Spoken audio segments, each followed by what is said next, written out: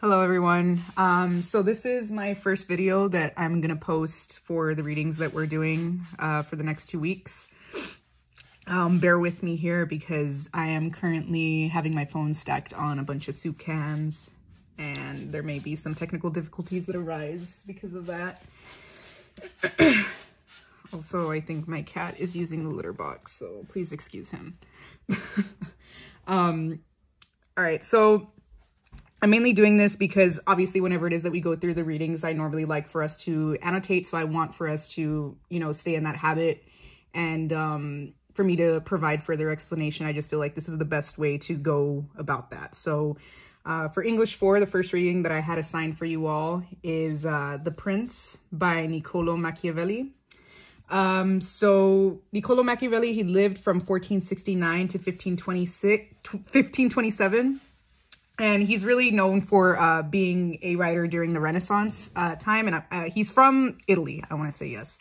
So during the Renaissance, Sir Thomas More and other scholars assumed that morality had a central role in politics. So morality is just, of course, like what is right, what is wrong. So it's sort of like this, um, the, the debate between what is right and wrong when it comes to ruling in politics. Um, Italy's Niccolo Machiavelli broke with this tradition, arguing that rulers should ignore moral concerns that interfere with their ability to govern. Machiavelli's political treatise, uh, The Prince, earned him both earned him such notoriety that the term Machiavellian was coined to refer to as a ruthless drive for power. Today, he is considered the founder of the modern field of political science. Niccolo Machiavelli was born into a prominent but impoverished family in Florence, Italy. In 1498, when he was only 29, Machiavelli landed an important job in the Florentine government that required considerable travel. His travels provided him with an insider's view of various rulers' strategies and policies. In 1512, the Republic of Florence fell and the Medici, a wealthy family that had once ruled Florence, returned to power. Machiavelli's attempted to curry fa favor with, with the Medici, but was instead relieved of his post. In 1513, Machiavelli's political career effectively ended when he was accused of being an accomplice in a conspiracy against the Medici and was briefly imprisoned. Although Machiavelli was eventually released from prison, there was no place for him in the Medici government. He spent much of his remaining years writing. During this period, he composed The Prince, detailing how a principality should be ruled, and a companion work, Discourses on the First Ten Books of Livy, uh, focusing on how a republic should be ruled. Machiavelli dedicated The Prince to Lorenzo de' Medici, hoping to regain political favor. Finally, in 1519, he succeeded in partly reconciling with the family when they appointed him Florence's official historian. He worked on a history of Florence and on several other commissions until he died. Because The Prince was published in 1532 after Machiavelli's death, he never experienced the controversy surrounding his work. Most early readers of The Prince were scandalized by its message and by its disregard of morality and ethical rules. But over time, the treatise uh, changed people's perception of government. For hundreds of years, leaders have used The Prince as a guide to wielding political power. So uh, I, to go off of that, this is very much a uh, more political uh, piece of writing. and again, really Machiavelli really wrote this um, this treatise in an attempt to uh, get, have political favor because he was, I, as it said, that he was dismissed by the uh, government and he wanted to write this so that uh, he would sort of like get pardoned and that he could come back and uh, go into Italy again because I think that he was basically sort of like banned from that area. Um, so he wrote The Prince as a way to gain political favor. It was just basically him talking about like the way to rule, the talking about like looking at history and looking at different rulers and their approach to ruling.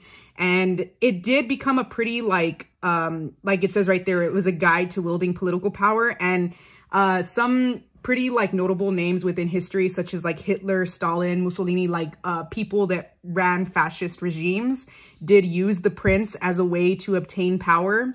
Um, because there is often sort of like this argument within the prince that um, is it better to be loved or feared?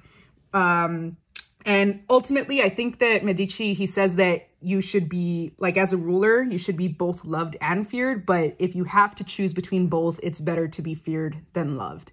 And that is really where, like I said, a lot of like these fascist regimes, uh, such as like Hitler, Stalin, Mussolini, that they took over um, in that aspect of fear.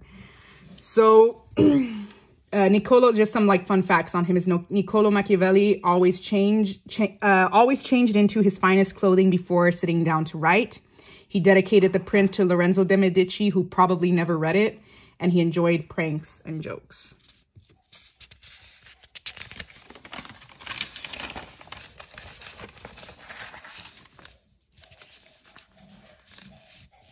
Right. So this was sort of like the, and it would have been, I guess, like the journal prompt normally that we would have done is that would you rather be loved or respected? And really what it means by respected is just like feared.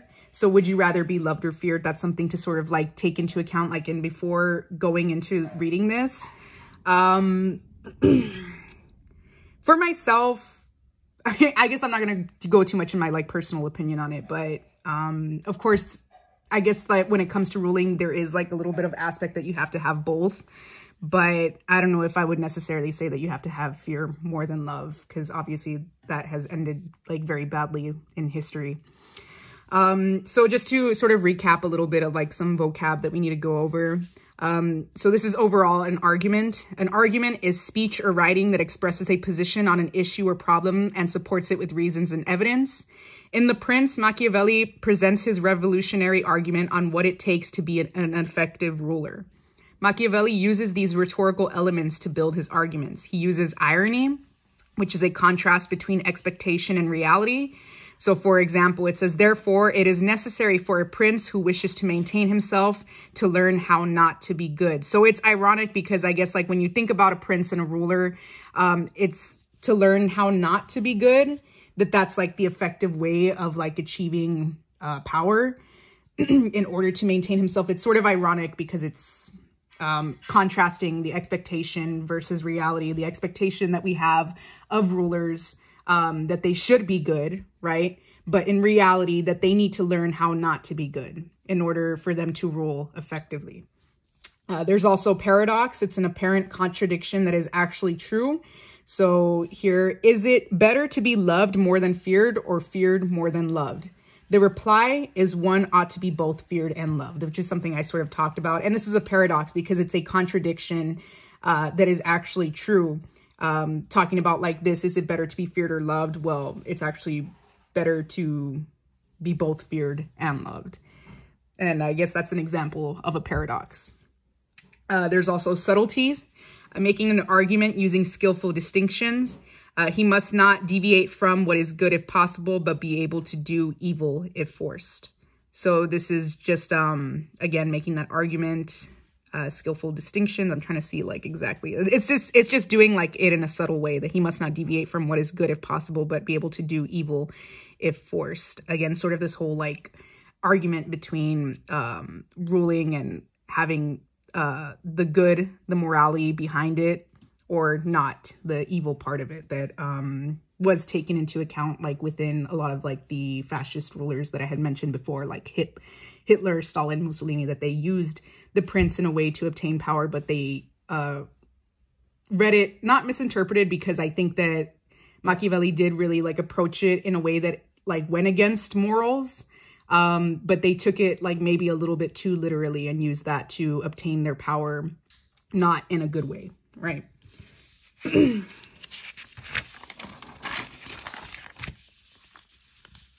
right. So we'll go ahead and begin reading The Prince by Niccolo Machiavelli. In the 15th and 16th centuries, Italy was a collection of city-states. Some were republics and some were principalities under the control of one person or family. During this period of political turmoil, Machiavelli wrote The Prince, a work in which he outlines the means by which a state can achieve peace and stability. It now remains to be seen what are the methods and rules for a prince as regards as regards his subjects and friends. And as I know that many have written of this, I fear that my writings about it may be deemed presumptuous, differing as I do, especially in this matter from the opinions of others. But my intention being to write something of use to those who understand, it appears to me more proper to go to the real truth of the matter than it than to its imagination, and many have imagined republics and principalities which have never been seen or known to exist in reality. For how we live is so far removed from how we ought to live that we we that he who abandons what is done for what ought to be done will rather learn to bring about his own ruin than his preservation. So this is just sort of him establishing his argument. Obviously, he's going to be talking about the methods and rules for how a prince should uh, rule in regards to both his subjects and his friends. Um, and it's used for those who understand. Uh, for, yeah, so I guess that's basically it. It's just, again, just sort of establishing the, this argument in the first paragraph. so a man who wishes to make a profession of goodness in everything must necessarily come to grief um, among so many who are not good. Therefore, it is necessary for a prince who wishes to maintain himself to learn how not to be good and is to and to use this knowledge and not use it according to the necessity of the case. So I just put here that this is basically, and this is where we're seeing that, um, I want to say which example this was again. I'm just going to go back to check on that. It is I irony, and I might just like put a little note here that this is sort of ironic, right? Um, because he's talking about like how a prince should learn how to rule effectively is that they need to learn how to not be good. Um, and really this is just a way to use power, uh, using power depending on the situation to their own benefit. So if a prince can go about something or a ruler, right? The prince is the ruler if they can go about ruling in a way that they know that they can manipulate things and they can use things to their advantage, um, that it's ultimately for their own benefit that they're going to be able to obtain the power they seek, right? so leaving on one side then those things which concern only an imaginary prince, and speaking of those that are real, I state that all men, and especially princes who are placed at a greater height, are reputed for certain qualities which bring them either praise or blame. Thus, one is considered liberal, another miserly. One a free giver, another uh, rapacious, rapacious, which is uh, greedy or grasping. So this is um, we're gonna see a lot of like uh, con like contrasts between like what a ruler is or should like how different rulers rule like one being cruel one being merciful one being a giver one being greedy. Um let's see. So one cruel another merciful one a breaker of his word another trustworthy one effeminate which just means unmanly um and suliam suliaminous which is uh timid or cowardly another fierce and high-spirited one humane another haughty one lascivious, which is uh, sexual, another chaste, which is to like not be sexual, one frank, another astute, one hard, another easy, one serious, another frivolous, one religious, another an unbeliever, and so on.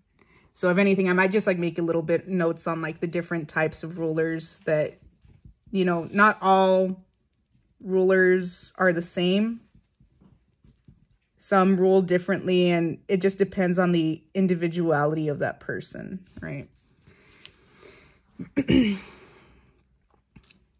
I know that everyone will admit that it would be highly praiseworthy in a prince to possess all the above named qualities that are reputed good, but as they cannot all be possessed or observed, human conditions not permitting of it, it is necessary that he should be prudent enough to avoid the scandal of those vices which would lose him this state.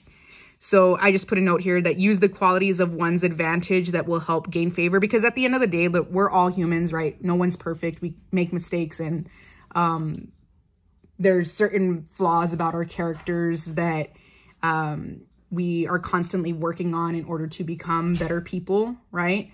But um, ultimately that like when it comes to ruling that we need to know how to play that game right right that we need to know like which characteristics to use and portray ourselves in order to be seen as an effective ruler because if we're focusing too much on the negative aspects or the other uh, parts of us as humans a part of the human condition um, that it's going to portray us in an unfavorable light, right? The, the kind of ruler that we don't really want to place our trust in. Mm, let's see. I can't remember exactly where it was that I left off, so I'm just going to start from right here. Um, and guard himself, if, if possible, against those which will not lose it for him. But if it were not able to, he can indulge them with less scruple.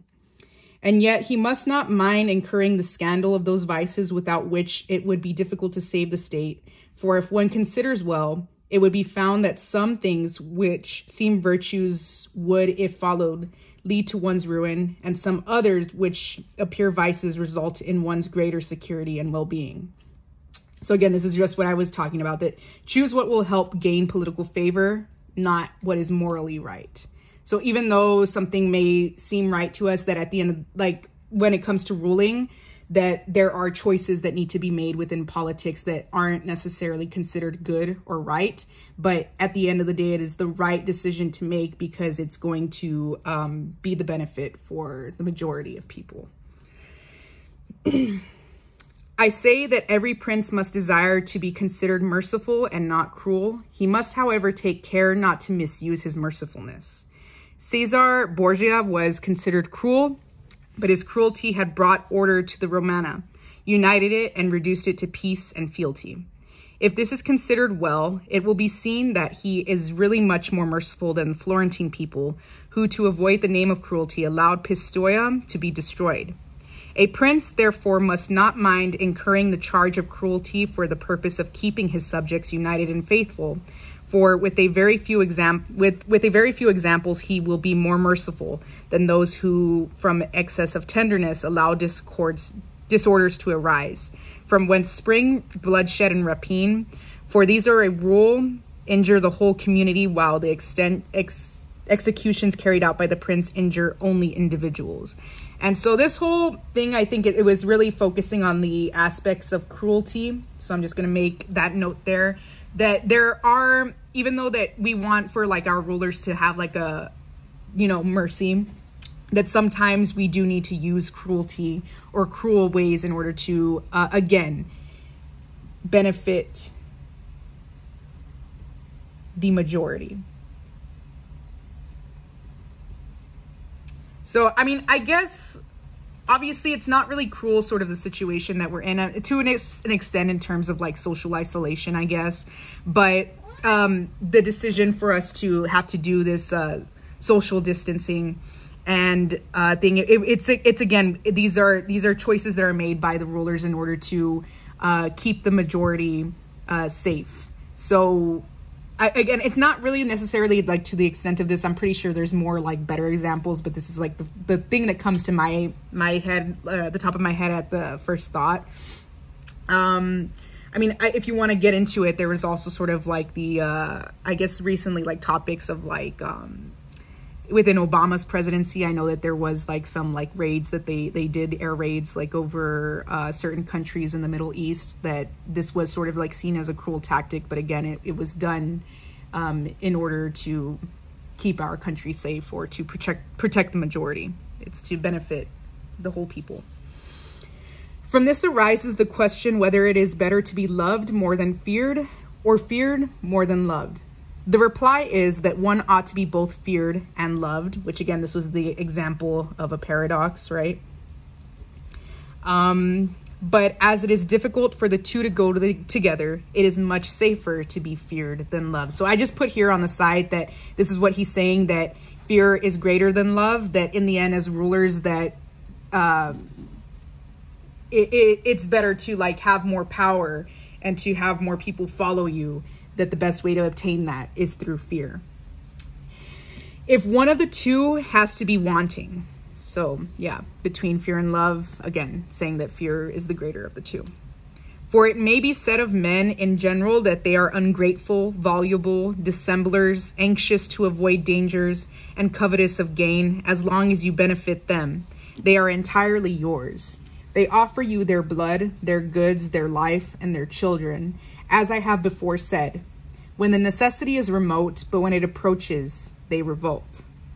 And the prince who has relied solely on their words without making their preparations is ruined. For the friendship which is gained by purchase and not through grandeur and nobility of spirit is bought but not secured.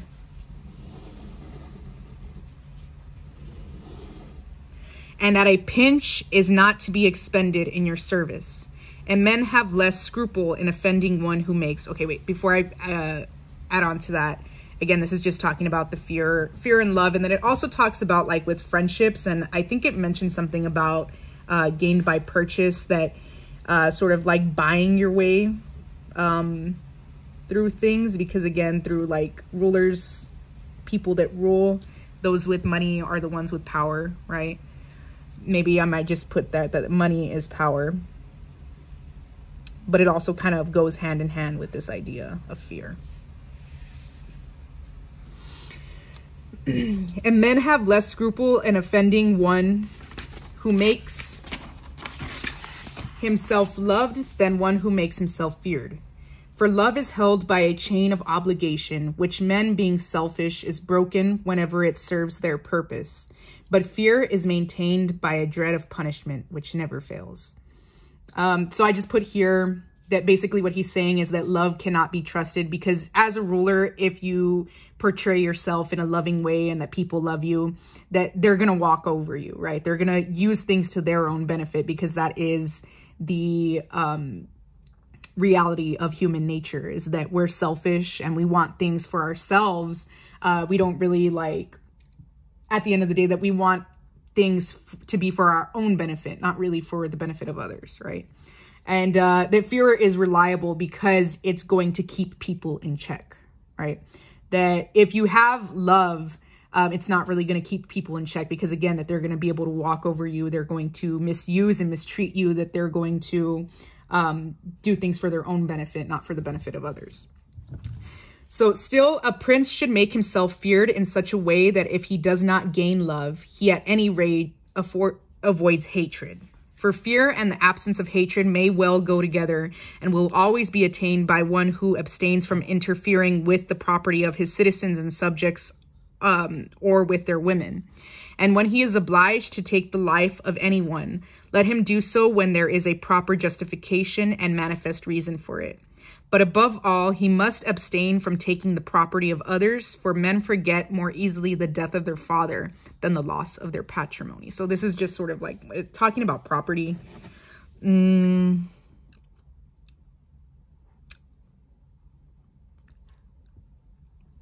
I'm trying to think exactly what it is. Well, hold on. It'll it'll get to me in a bit, right? Uh, then also pretexts of seizing property are, are never wanting, and one who begins to live by rapine will always find some reason for taking the goods of others, whereas causes for taking life are rarer than and more fleeting. So if anything, I, think that this is just sort of like bouncing off on that. It's just going on to like expand on his argument and just showing that, um, mm, let me backtrack a little bit.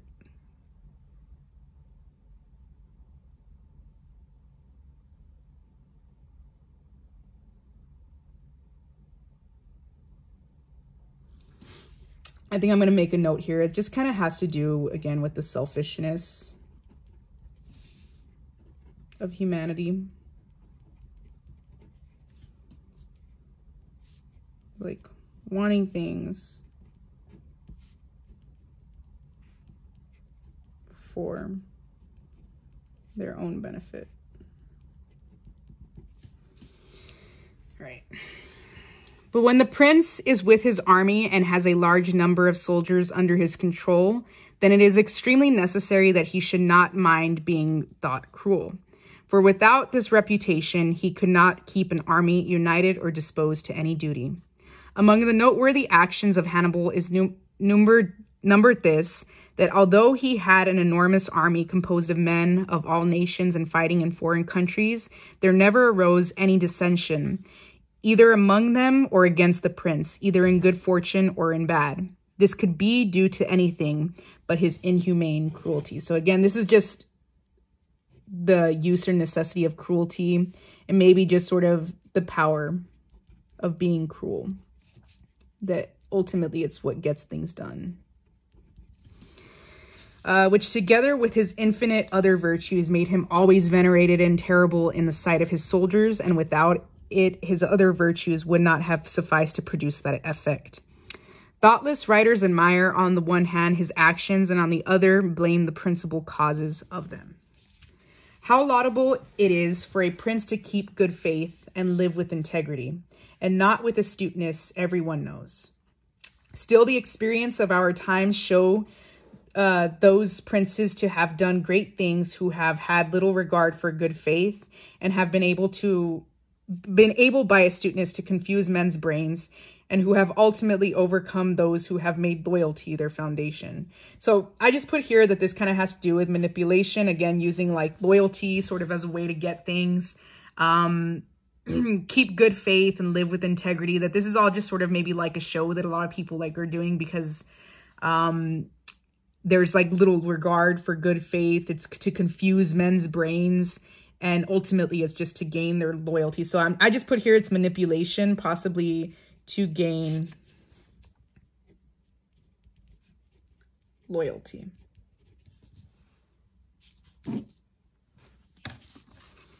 You must know then that there are two methods of fighting, the one by law and the other by force. The first method is that of men, the second of beasts. So again, law is with men, force with beasts. But as the first method is often insufficient, one must have recourse to the second. It is therefore necessary for a prince to know well how to use both the beast and the man. So I just put here that you must fight, uh, or a ruler must fight both by law and by force, that they need to use both the man or um, humanly like aspects of it, but also like the beastly aspects of it. Again, because ultimately in order to get what they want, to gain power, to gain control.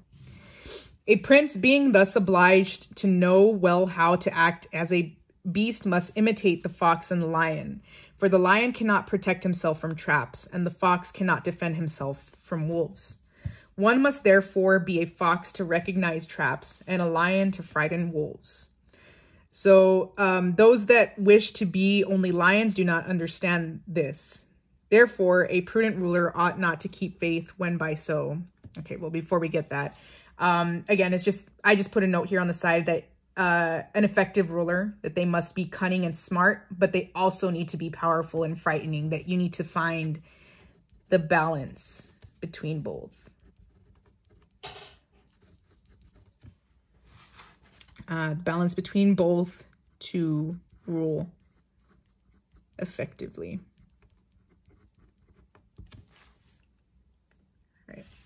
So therefore, a prudent ruler ought not to keep faith when by so doing it would be against his interest, and when the reasons which made him bind himself no longer exist. If men were all good, this precept would not be a good one. But as they are bad and would not observe their faith with you, so you are not bound to keep faith with them. Nor have legitimate grounds ever failed a prince who wished to, to show plausible excuse for the non-fulfillment of his promise. Of this one could furnish an infinite number of modern examples and show how many times peace has been broken and how many promises rendered worthless by the faithlessness of princes and those who have been best able to Im imitate the fox have succeeded best. But it is necessary to be able to disguise this character well and to be a great feigner and dissembler. And men are so simple and so ready to, to obey present necessities that one who deceives will always find those who allow themselves to be deceived. So, and on here, I feel like this one was pretty straightforward. I really just... Un All right. I got interrupted with a phone call. Anyways, so like I was saying, um, I feel like this one was pretty straightforward. And I'm just going to kind of recap a little bit like what I underlined. So it just talks about that. If it has to do again with this whole debate on morality, right? So what is good, and what is not. Um, I'm just going to put like good versus bad.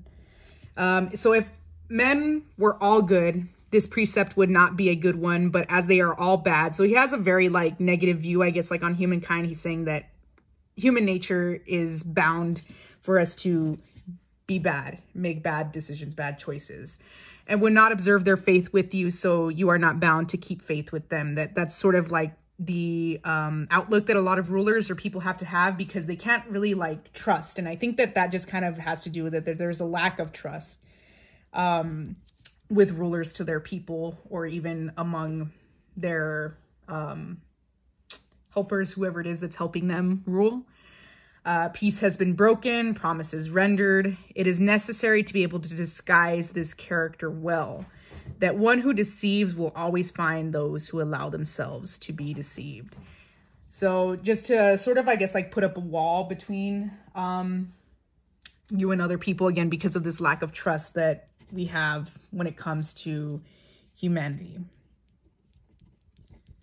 Humanity, like the selfishness of human beings and sort of the deceit and lies that come as a result of that. Thus it is well to seem merciful, and again, to seem merciful, not to actually be merciful, just to put up a front, to pretend, uh, to seem merciful, faithful, humane, sincere, religious, and also to be so. But you must have the mind so disposed that when it is needful to be otherwise, you may be able to change to the opposite qualities. And it must be understood that a prince, and especially a new prince, cannot observe all those things which are considered good in men, being often obliged in order to maintain the state, to act against faith, against charity, against humanity, and against religion. And therefore he must have a mind disposed to adapt itself according to the wind, and as the variations of fortune dictate, and as I said before, not deviate from what is good if possible, but be able to do evil if constrained. So I just put here, and this is just sort of what we're seeing throughout here is this idea of using power for what is necessary in order to gain what they want. Um, and it also talks here about the adaptability of a user as well, that he must be able to, he or she must be able to adapt according to the wind. Um, because even though that they may seem, they're putting up this front, and I kind of want to make a note here that like this like fakeness, um, excuse my handwriting, but I'm just putting there like fakeness um, that a lot of like the rulers that they'll come about saying like showing themselves, portraying themselves as a certain way, but is that the reality of things? Is that actually how they are? Is that actually their morals? At the end of the day, not really because they're only doing things to gain power for what is necessary. All right, so a prince must take great care that nothing goes out of his mouth, which is not full of the above named five qualities, and to see and hear him. He should seem to be all mercy, faith, integrity, humanity, and religion. So again, these are all the qualities that a good ruler should have in order to be looked to um, favorably in the public eye among the people, that they want to see a ruler with mercy, faith, integrity, humanity, and religion because that's what's going to gain them political favor. And nothing is more necessary than to seem to have the, this last quality, for men in general judge more by the eyes than by the hands. For every one can see, but very few have to feel. Everybody sees what you appear to be, few feel what you are, and those few will not dare to oppose themselves to the many who have the majesty of the state to defend them. And in the actions of men, and especially of princes, from which there is no appeal, the end justifies the means. Let a prince therefore aim at conquering and maintaining the state, and the means will always be judged honorable and praised by everyone. For the vulgar is always taken by appearances and the issue of the events, and the world consists only of the vulgar. And the few who are not vulgar are isolated when the many have a rallying point in the prince. A certain prince of the present time, whom it is well not to name, never does anything but preach peace and good faith but he is really a great enemy to both. And either of them, had, had he observed them, would have lost him state reputation on many occasions. So I just put here because this really kind of has to do with uh, maintaining an image for the public eye, even if it's not authentic. Again, because it's to do what? It's to gain power.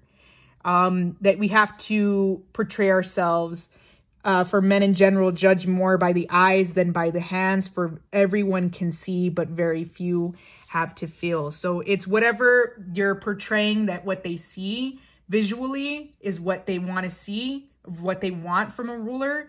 But um, when it comes to like by their hands or actually feeling it out and, you know, seeing where things are going, that it's a little bit harder to judge it that way and to actually like um, say that you want for someone to rule in that way, if that makes sense. But uh, mainly it has to do with just maintaining this image for the public, right? and um, that's it. So overall, for this reading as a whole, it just really has to do with the the effectiveness of a ruler, um, the argument about morality, whether a ruler should be good or bad, whether they should be loved or feared, and really the the ways that we need to approach or that rulers need to approach obtaining power, which that's up for you all to decide, I think, if you want to like think about that or talk um, with each other about this, maybe about the current um, political situation that's going on within this country, within our own political rulers? Do you see any of the um, beliefs or the politics that is presented in here currently now within politics or even within politics from different countries. This is something for you all to think about uh, when it comes to ruling, when it comes to analyzing politics, and when it comes to choosing an effective ruler that's going to um, make uh, good changes and good decisions for the people as a whole.